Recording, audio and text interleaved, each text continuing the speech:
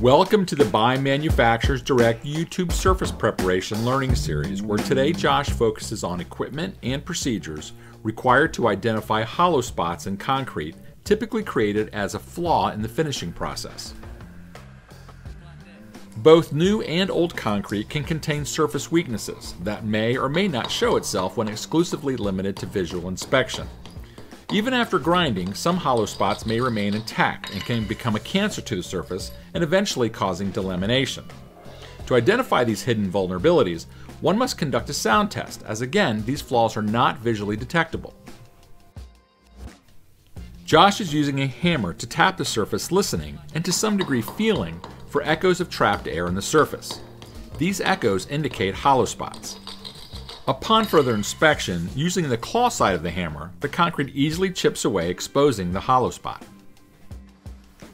As with any concrete project, dust collection and control should be a priority to maintain a clean and safe working environment. After meticulously inspecting the slab, Josh preps the joints as well as exposing all of the hollow spots for a chemical solution. Inspecting a slab for these hidden profit suckers typically falls exclusively on the shoulders of the contractor. So allocating time to conduct a sound test, again listening for trapped air, should be standard operating procedures prior to bidding any grinding project. It's good practice to protect yourself from the unknown.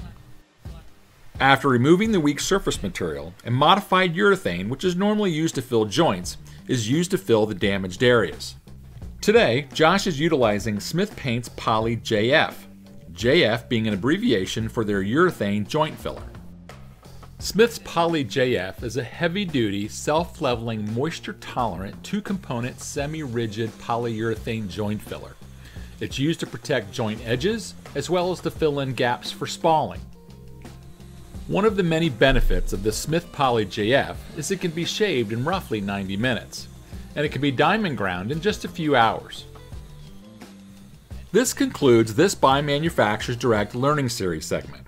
For information on the products and processes shown in today's video, please reach out to your Buy Manufacturers Direct customer service representative. And as always, if you found today's video informative, we invite you to subscribe to our YouTube channel and select the bell icon to be notified when we post a new video.